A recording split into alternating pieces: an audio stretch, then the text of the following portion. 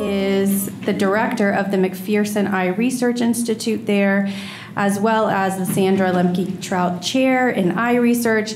Um, needless to say, he's very accomplished in both a clinical and surgical practice as well as his research practice, and he does really innovative work um, modeling some of the eye diseases we see in clinic, a lot of inherited retinal diseases and degenerations in uh, stem cell models, which are increasingly able to tell us more and more about these conditions that we've thus far been unable to really model effectively or understand on a molecular basis. So um, I am thrilled that he's able to talk to us today about some of his work, and um, I'd like to welcome Dr. David Gamm.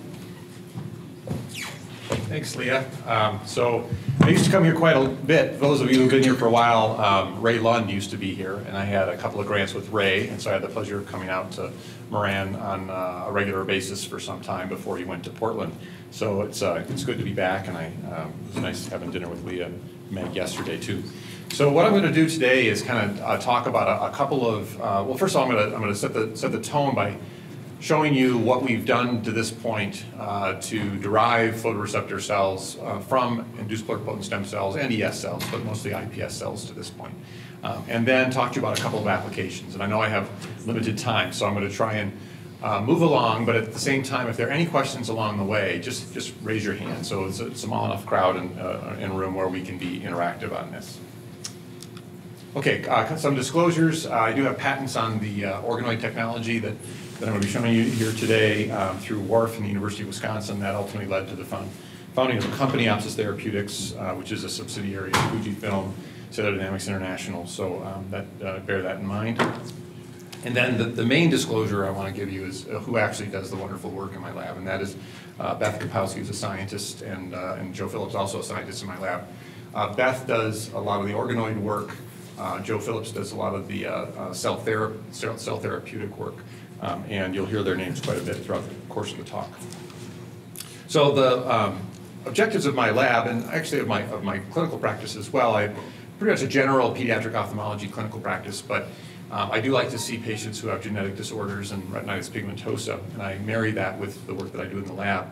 But ultimately, um, my goal is, and I exclusively use human uh, pluripotent stem cell technology, but I want to use that technology uh, first and foremost, to investigate human retinal development. There really is no other way to study human development in a dynamic way except through pluripotent stem cell technology. You can get static images from uh, fetal tissue when it's available.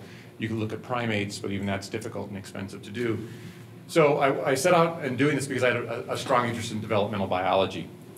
Um, but then, if we're successful in being able to use developmental biology to coerce pluripotent stem cells to actually become bona fide retinal cells, then we have uh, the clay that we need to perhaps model diseases that we otherwise couldn't model from actual human patients that have clinical correlation, um, or develop cell therapeutics. And so that was what, what I hoped to be able to do, but when I started, I thought, well, maybe we might be able to get these things down the path a little bit. So we use uh, induced pluripotent stem cells for the most part. Uh, we've developed over 100 different lines from different patients, and we generally use blood samples. And so patients will, uh, we have a special kit that we use, and we use T and B cells, so nucleated uh, cells from uh, blood samples. And we have a special kit that we send all over the world, um, and it's about the size of a cholesterol, what you'd submit for a cholesterol check. And then we reprogram that using a combination of Thomson and Yamanaka factors, Jamie Thomson being at the University of Wisconsin, so we're kind of partial to those factors too. But at the end of all of that, you get an induced pluripotent stem cell, which is uh, capable of producing all the different cell types in your body, at least theoretically. It also harbors the entire uh, genetic background of that particular patient, which is not a good thing if you intend to put it back into the patient eventually. You either have to correct the gene, which is a kind of, we can do that, but adds a, a very large level of complexity onto the whole process, or we can take normal donor cells that are HLA matched or um, otherwise available to be able to uh, produce the cell types necessary to target the disease.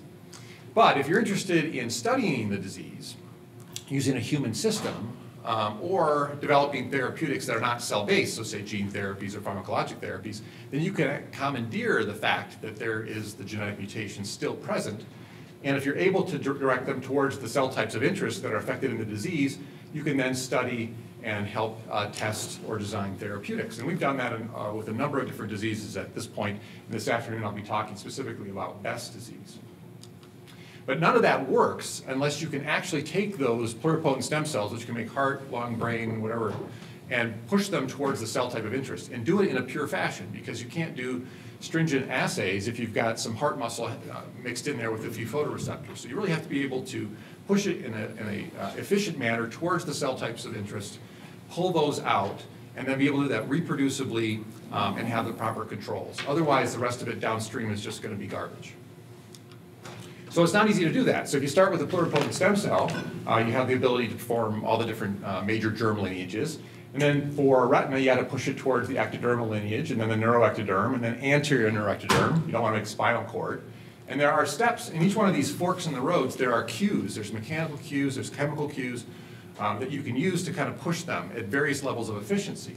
But ultimately, you want the anterior neuroectoderm, which includes the eye field, which has a lot of specific transcription factors that we can use to trace this as it goes down the line. And then from the anterior neuroectoderm, you can develop forebrain or optic vesicles. Optic vesicles, a little bit of embryology here, are uh, uh, evaginations of the anterior neural tube, uh, one on each side, that push towards the uh, surface ectoderm. This becomes the lens, the lens placode. Ultimately, this folds back in on itself and invaginates and becomes the bilayered optic cup where the proximal portion here becomes RPE and the distal portion here becomes neural retina. So even if you get to that point, you have a long way to go, because at that point it has to make a decision, was it going to become RPE, or is it going to become neural retina? This is neural retinal progenitor cells. And we have the benefit in the, in the eye that all of the neuroretinal cell types come from a common progenitor. So you start with the same cell type. So all the different major cell classes within the neural retina. And indeed, even the RPE, if you go a step before, it comes from a single progenitor. So that's nice. We don't have to. We don't have a, a, convening of a lot of different cell types from different cell lineages that have to come together, which would be very difficult to do in culture. But it's not just even as simple as making a neuroretinal progenitor cell and making all the different cell classes.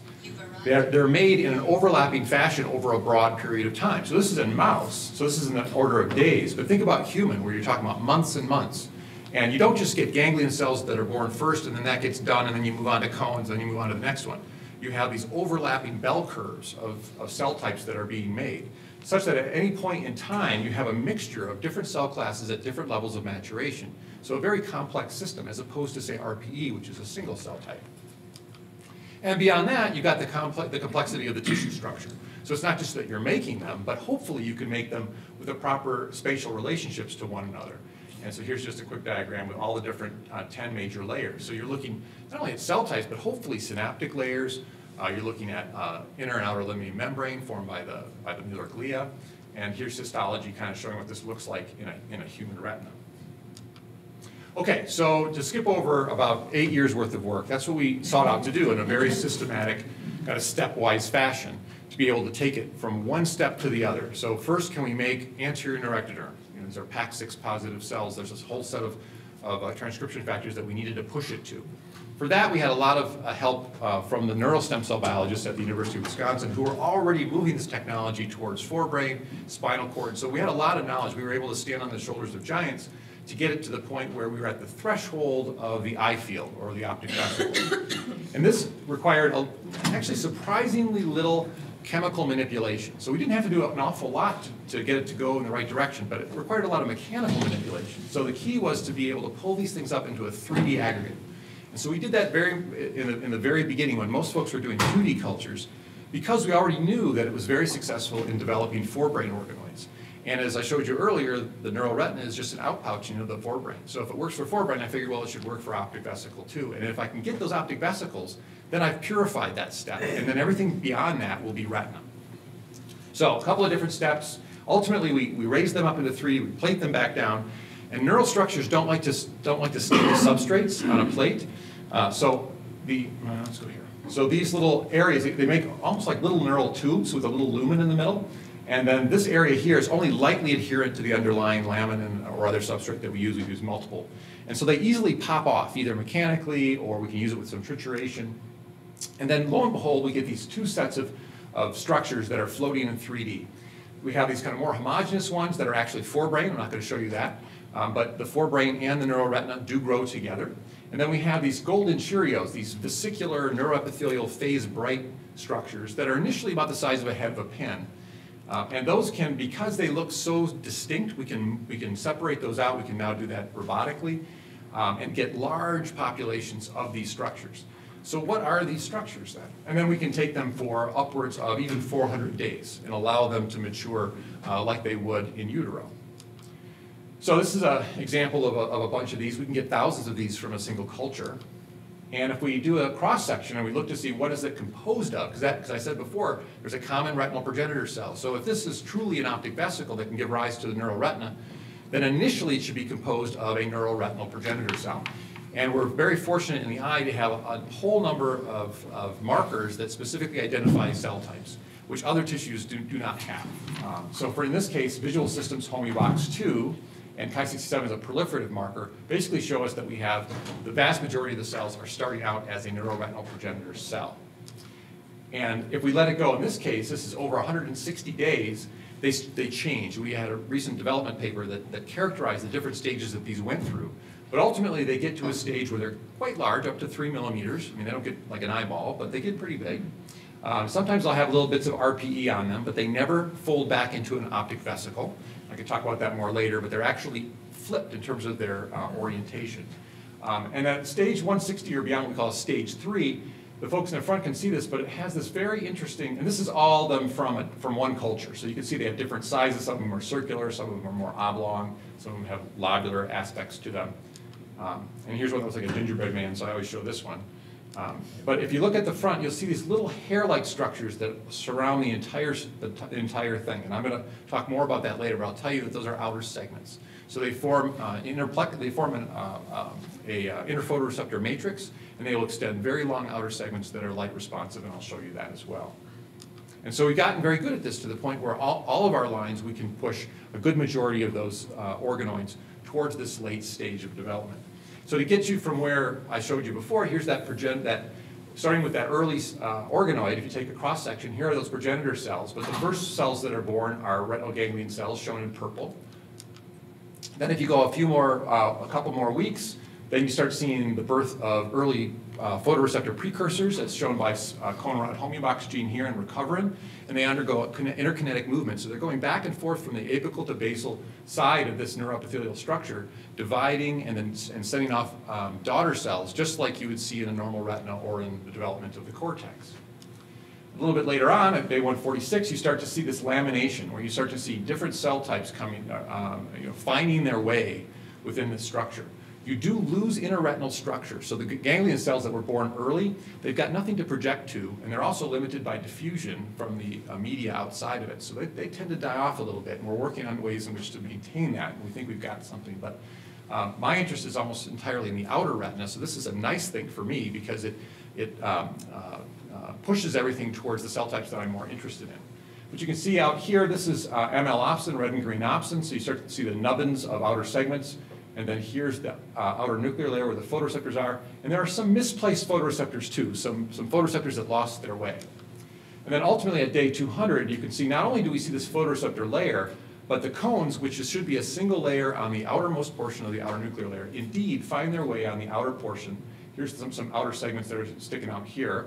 But the, in red are all the uh, red-green cones, and then the rods form a four to five cell layer thick um, uh, nuclear layer beneath that, just like they would.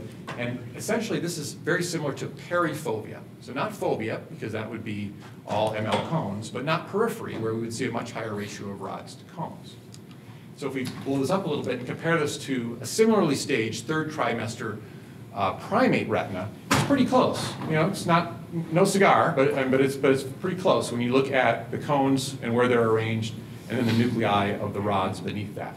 And again, here are some misplaced uh, photoreceptors uh, as well. Interspersed in all this would also be uh, bipolar cells. I'll show those later.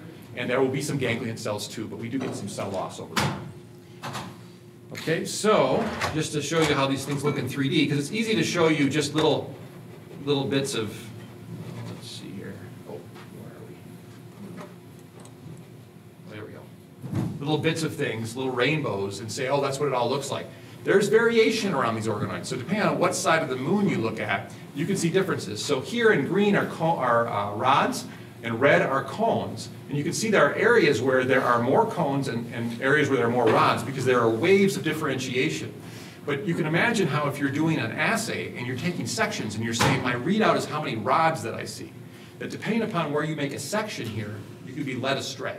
Right? That's why you, know, you have to know the technology because you can get fooled by a simple little part of a rainbow in one section out of 200 different sections. And then here's, I said before, uh, here's a marker, uh, VSX2, which is an early marker of progenitor cells, but in later uh, retina, it becomes a marker of bipolar cells. So here's where you can see the bipolar cells. You can start to see an outer plexiform layer or synaptic layer forming here. I'll get back to that. And again, rods, cones. Here's the ratio of, of S cones to LM cones. So that's, you should have way more LM cones than you have S cones, and that's true. So here's one S cone here, one blue cone. The rest of these here lined up in the outer portion in orange are all red-green cones. And then if we blow the whole thing up so that I can show you some more structure, once again, what I'm showing you here is an area where it has mostly uh, cones in red, uh, and their outer segments are here, right up here. Their uh, cell bodies are here, and then they have these long axons, and they end in a very specific cone-like synapse uh, called a pedicle, which are very broad-based. Now there's one, one rod in here I'm going to show you in a second. It's going to be yellow. And you're going to see this tiny little outer segment, and then you have to follow it all the way down here to its cell body. And then it ends in a much smaller, uh, more um, uh, um, punctate sort of synapse called a spherule. And the red will go away here in a second. You'll be able to see that one right there. So, and here are your displaced ones. And interestingly, they express all the right markers in the right order, but they just don't look as pretty. So I've been telling you these are outer segments. Do we know they're outer segments? Yes, our lab and other groups have, have shown that. So if you, what in an ideal world, what we'd see are these nice stacked discs, but that's really in a mature photoreceptor. And remember that we're, we're taking things really in the stages uh, embryologically. So we've got kind of a, a mid to late third trimester um, outer segment. And so in that case, what we expect to see is something a little more disorganized. So we see the discs, they're not stacked, they're a little haphazard, they're starting to get there, and they're not really pretty. You see this uh, uh, connecting cilium here. Um, so it has all the different elements, especially at the base of the, of the connecting cilium. But it really is kind of a late final stage. Here's a close-up uh, of what those discs look like. And on the other end, the other business end of a photoreceptor is the synapse. I alluded to that a little bit earlier. Um, and that here's that synaptic layer. And ribeye is a synapse marker.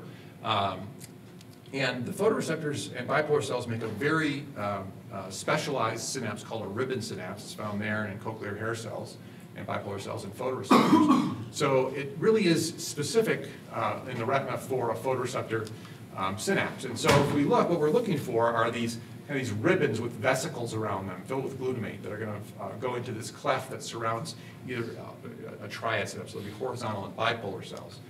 And sure enough, on EM, that's what we see. We see these uh, uh, electron microscopic dense structures, these ribbons, and people up front can see all the vesicles that are surrounding it. And they're surrounding uh, the dendrites of uh, either a bipolar cell or a, or a horizontal cell. There's actually another one down here.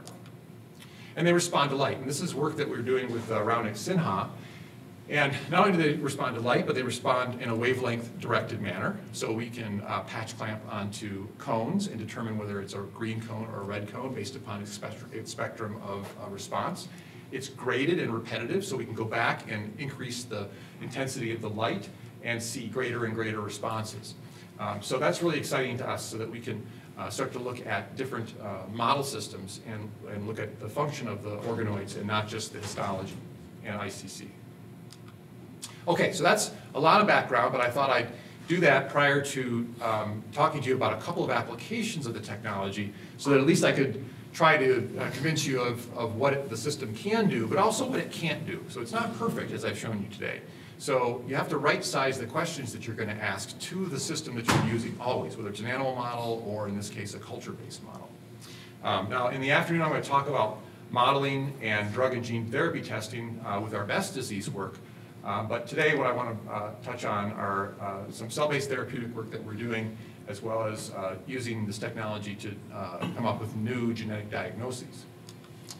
So we can convert all the, the entire protocol to GMP, which means that we can do it in a, in a manner in which we can use it for patients. We can pull out those photoreceptors so we can get a, essentially a purified population of photoreceptor precursors. Um, And this is just an example here. We have, we're lucky to have a GMP facility two floors down from my lab at the Waisman Center in Wisconsin. And so we did the early work there. We subsequently converted it over to um, Opsis Therapeutics. Now, the simplest thing to do would be to be able to take the cells and place them in the subretinal space without much fanfare. But as I've shown you, these are very specialized cells and they have an orientation. They know what's up, they know what's down. And while if you just put them into the subretinal space, they may be able to figure things out or it may just be probability and, and some of them will and some of them won't. And so that's going to limit your, your response, that and, and about a thousand other things. Uh, but if we're able to uh, seed them perhaps into a scaffold, then we might be able to you know, hedge the bets in, in the favor of having them have the correct orientation. And so we uh, published uh, last year in Advanced Materials the work that we did with a couple of fantastic uh, engineers. One's a biomaterials engineer, that's uh, Sarah Gong, and Jack Ma is a uh, microfabricator, and he works mostly on microchips for computers, and he's world famous for that. And I said, well, can you do the same sort of you know, minute manipulation for a biologic, like a photoreceptor, that you can for uh, a computer chip? And he loved that idea. Uh, so sometimes you dangle a new carrot in front of somebody and get them really excited. Uh, so the initial design, uh, this is kind of what it looks like here. There's a degradable and a non-biodegradable form. Uh, we use always the biodegradable. Um, it can be made for pennies on the dollar. The initial mold takes quite a bit, of, is, is expensive, but once you make the mold, you can make uh, over and over again these sheets for pennies. And if you look up close, they have what we call a wine glass design. So the idea was to capture an individual or maybe two photoreceptors and then have a, a uh, through channel that would hopefully um, mechanically get them to send their axons down that so it would be oriented. And we checked modulus to make sure it had the right uh, stiffness so that it wouldn't be too stiff for the retina or too soft to manipulate in the subretinal space. And then we use, we actually, this is actually the reason why they're red is, is we um, engineered one of our lines to express TD tomato in all the photoreceptors. And so that allowed us to, without staining them, be able to do live imaging. And this is uh, one of these scaffolds, a portion of one of these scaffolds, seeded with, uh, with uh, photoreceptor cells. And you can see that they have, at least they're sending something down those through channels. And this is it poking out the other end, and this turns out to be the end of an axon. And so if you do staining, you see that uh, synaptophysin, which is a photoreceptor, a presynaptic uh, photoreceptor uh, uh, marker, they're clustered here at the very bottom. Here's another example of that. So being able to orient them in these structures is, is important. The problem with this was that the payload was so small. So uh, we were able to get most of these, these wine glass wells filled with photoreceptor cells, but it, it, took a lot of cells to do it, and then ultimately you had your ratio of biomaterial to biologic was very high. And so we wanted to, to limit that. So we switched to this new second generation design, which is more of an ice cube tray design. So each one of these then has about has nine through holes within it. And with that, we can have a much larger payload. We essentially quadrupled the number of cells we can deliver and reduced the number of the amount of biomaterial inversely, so one quarter of the amount of biomaterial. So the amount that has to biodegrade in the subretinal space is much, much less. And so when we do this in a rat, this is, this is a, a S334 uh, tur uh, rhodopsin degenerate, degenerative uh, rat model, um, one of Matt LaVail's uh, models. Um, and we use this because it's severe degeneration. So by the time we even look at these animals, they have a couple of cones, but essentially their outer nuclear layer and photoreceptors are entirely gone. So we don't have to worry about biomaterial. We're also doing a xenograft with human into rat, so we can use human-specific markers. So the idea of are we seeing the donor cell or are we seeing something transferred to a host cell is obviated. Um, so here's where we see uh, the, the, the, human nuclear marker here. we've recapitulated or reformed an outer nuclear layer. Um, in the control animal, there's nothing here. This is just, this is internuclear layer and bipolar cells, and then all the photoreceptors are gone. If we use a photoreceptor marker, they're not perfectly oriented by any means. Um, and I don't show you the control where we just do uh, dissociated cells. But A, we get much, much better survival. We're able to control the thickness of the outer nuclear layer and the region in which we, we uh, um, uh, place it. So there's no gravity forces where it's kind of there's more in one area of the bleb than, than in the other. Um, and there is an orientation that's much better than if you just do dissociation. And there's an interaction. This is, this is a little bit of just abstract art, I think, for a lot of folks. But um, here's the cells, uh, the, the human nuclei here. It's kind of a blow up here. And then we're looking at a marker for the host bipolar cell processes. So in, the, in a situation where you've got a totally degenerate outer nuclear layer, so there's nothing to, for the cells to integrate into because there's no outer nuclear layer there to begin with. So you're trying to recapitulate that layer not have the cells migrate up into the bipolar cell layer or further. So in that case, the idea or the concept of integration really is process integration. Are the axons of the photoreceptors and the dendrites of the bipolar cells and the horizontal cells intermingling to lock those two into place? And are the synapses being um, uh, co-expressed? And the answer to that is yes, and we're now doing rabies virus tracing to be able to show that these uh, hopefully are uh, functional synapses. And we started to do this in large animals now. And this is with Juan Amaral uh, at NEI and Kapil Bharti's group. Oh, come on now. There we go. This is in pig. And so this is, uh, I'll kind of walk it through here. Here's him, making the subretinal bleb uh, in, one of, you know, in a wild type pig. This is really just kind of uh, handling it um, and not um, you know, really looking at function because these are, these are normal pigs. But we wanted to be able to see can we get these into the proper space.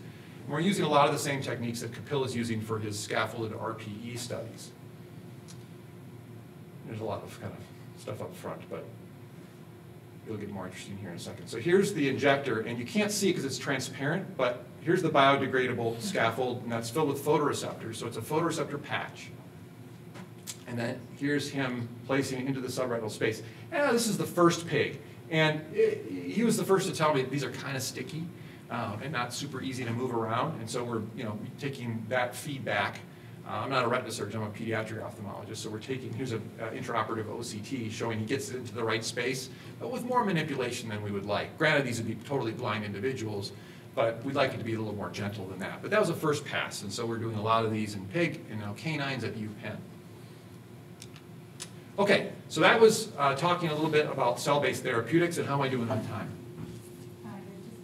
Okay, all right. So ne next thing I want to talk about is how we can use that same technology to help um, with folks who have retinitis pigmentosa but don't know their gene defect. And so um, these days with advancement in genetic testing, if somebody de novo walks into my clinic, about two-thirds of the time, if we just send them to uh, various uh, um, testing centers, we can get a, a, um, a diagnosis. We'll understand, be able to tell the parents what the gene defect is. And that's more and more important as uh, not only just the RPE65 and Spark Therapeutics product, Luxturna is now FDA approved, but there are so many other um, gene therapy and other um, uh, clinical trials that are coming online. And so you want to know if your kid or yourself are eligible for these. And you also, it's peace of mind to know that people, you know, who, it, who in the world is working on this, my particular disease. So this is a very distressing part of the pie to be part of. Um, now, interestingly, our organoids uh, make, and some of these are RPE based, but our organoids make all of these um, genes. So essentially they uh, express all the genes that are known to cause RP, uh, uh, retinitis pigmentosa or inherited uh, outer retinal degenerative disease. Um, and so our thought was that, okay, so if, if with whole exome sequencing and even whole, whole genome sequencing, and the latter being just a whole gamish of, of various SNPs, we can't find it. It's very likely that what we're missing are mutations in these known genes, but in areas in introns that are causing cryptic splice sites or other problems in the expression of the gene, so on, in the transcriptome. But you can't biopsy the retina, but we can make an unlimited supply of anybody's retina. So essentially, we can offer the geneticists a biopsy of that patient's uh, retina. And then you can combine the genome sequencing or the exome sequencing, well, genome sequencing, with uh, the transcriptome sequencing from the organoids, and then try to find these uh, cryptic splice sites or otherwise hidden mutations. And so we did this with, um, and, and, Mike Farkas is actually working with, with Meg here, and so we had dinner with him yesterday, which was very nice, uh, but also Eric Pearson and, and Revital in his laboratory. Uh, we've looked at a number of different families, um, and here's one uh, in the Boston area where they had no, no diagnosis, but two affected daughters and one unaffected son. Um, and I won't go over the clinical um, uh, features of this patient, um, but they were known to Eric, but I was blinded to that. Um, and so he had done whole genome sequencing on the blood of all three of these individuals and had come up with an idea, but it didn't explain the disease. And so uh, we had a, a, grant together, and so what, what we did is made um, iPS cells from each one of these individuals, uh, created organoids. Now they look a little different, and that's because I purposefully made them so that they had a good amount of RPE in them. Because we didn't know whether it was an RPE-based defect or a, neuro, or a photoreceptor-based defect.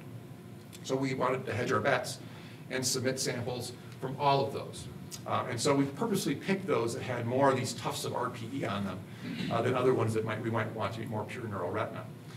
We then um, made sure that they were equivalent to one another in terms of the amount of cones versus rods versus, and S cones versus LM cones, because we didn't want to introduce art- artifact. And if we're going to be looking at genes expressed in, and perhaps levels of, of genes expressed in cones or rods or RPE, we wanted to make sure we had roughly the same levels or very closely the same levels of those cell types in each one of the control and proband and affected sibling samples. So we did that just to make sure we were all on level playing ground. Again, keep bearing in mind the limitations of the system. And then when we did that, uh, and we kind of uh, unblinded the whole thing, uh, there were a number of SNPs that uh, segregated with the two affected and not the unaffected individual. And then there were a number of splice variants that also um, uh, segregated with the affected versus the unaffected. But of those, only 12 overlapped, and only one had a causative mutation that introduced a cryptic splice site. And that was in the gene CNGB3. So this is, causes achromatopsia.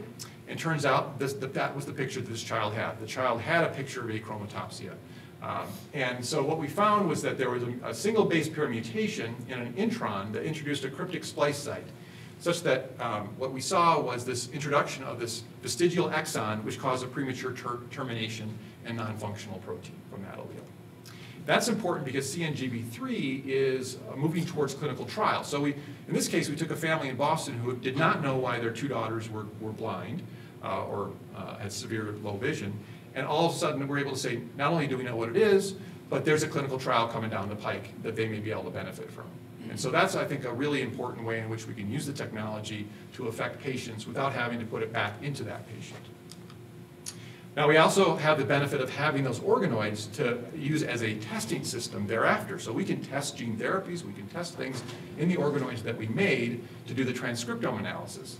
And so in this case, what we did is we got, uh, since I hadn't worked with CNGB3 before, we got an antibody, we validated it in postmortem human tissue, and made sure that the CNGB3 localized just to cone outer segments, which it did. So we knew we had a good, a good tool. Again, validating your tools is key, both the system, the culture system, as well as your antibodies and everything else. And then when we looked at the unaffected sibling, that brother, we also saw, again, not nearly as pretty as a real human retina, but we have our outer segments here. Um, and if we look at expression of CNGB3, we see that, again, they're co-localized in these outer segment regions. But in the proband, as well as the affected uh, sibling, we see that not only is it not present in the outer segment, but it's mislocalized. And we see mislocalized protein throughout the cytoplasm and in the inner segments. And so this gives us a phenotype to look at if we want to test for base editing, gene editing, uh, gene augmentation type therapies, which we're doing. Um, and we can test you know, promoter strength, promoter specificity, um, uh, duration of promoter expression, things like that, um, using these systems, uh, which otherwise would have to be, doing, be done in a, in a rodent model. Um, and in particular with gene editing, because your gRNAs that, that, are, that you have to fashion have to be specific to that, that um, uh, region of, of the exon that you're trying to cut, that can't be done in any other system except a human system, and actually that patient's, depending upon what their uh, genetic variations are. So uh, to finish up then, um, these, the system has a remarkable capacity to recapitulate, especially the outer uh, portion of the human retina, but it really reaches a late third trimester stage. So we're not seeing stacked discs. We've yet to be able to get this to get together with RPE. Um, so these, those are, there's definite limitations to the system. Um, but as we learn more about that, we'll be able to apply them with more confidence. But for right now, it's important to right-size the questions that we ask so that we can get real good, real answers out of them and not just a bunch of artifact and, and, and start chasing our tail. So um, with that, I want to thank the laboratory here. Uh, some of these folks have moved on to other jobs in industry and, and academia, um, and the collaborators that were mentioned throughout the talk and the support that we have specifically for this project. Um, and then, uh, thank you very much.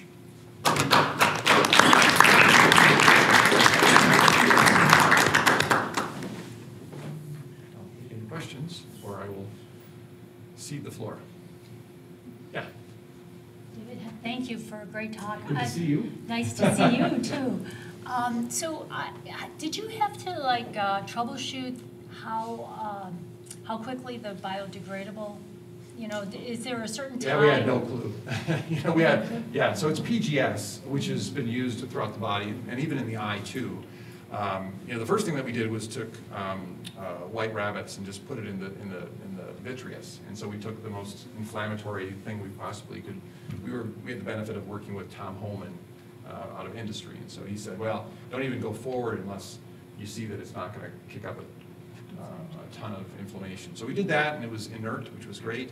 Um, And then we could see it degrade in the vitreous, and it was pretty slow in the vitreous, which is fine. We don't want to dump a whole bunch of biomaterial in the subretinal space all at once, but it was months and months. It was a little bit, I mean, what do we want? We don't even know what we want, Yeah, right? So, yeah. like, okay, I don't want it to be three days, because that's an awful lot to have to absorb, especially with the first generation.